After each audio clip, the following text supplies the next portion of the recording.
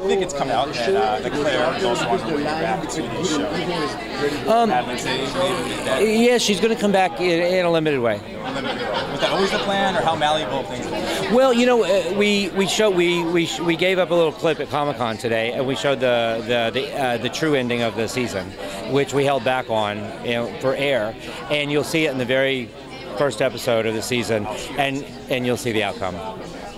So, but yes, uh, it, she will appear. You know, what's really great about our shows, we're going to push forward a year, and what we always do in our show is flashbacks. And so there's, a, you know, uh, there'll be a lot of opportunity that we'll see her.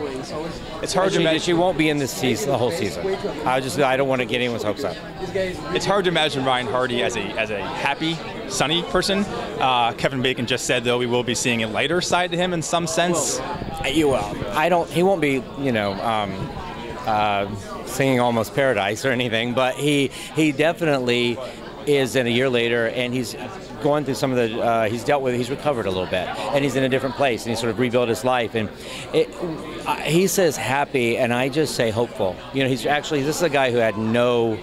It was all darkness, and every, he had a death curse. And now here he is a year later, and he's actually found hope and a reason to live. And and then of course, you know, bad stuff starts happening.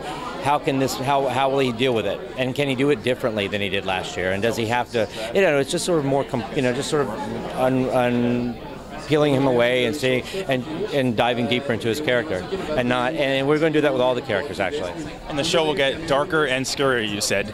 So my final question, I guess, is how is that possible? Oh well, no. I think I think the show it, it, can get darker and scary. You know, we've we've got some new villains we're bringing in. We've got a couple of new followers. You know, and, and we left everyone sort of. You know, the end of the season was Joe Carroll sort of the end of his book.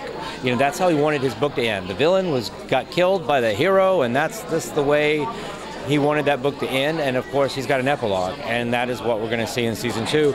And it's just exciting because you know it's we're going to reset the show, push forward a year later. Ryan's out of the FBI and he's living his life, and he's in a whole different world. And yeah, he's a little lighter. He's got a little, you know, there's that sarcasm and that cynicism that comes from uh, a traumatic life, and um, and and we'll see him. Um, we will see him with a new persona.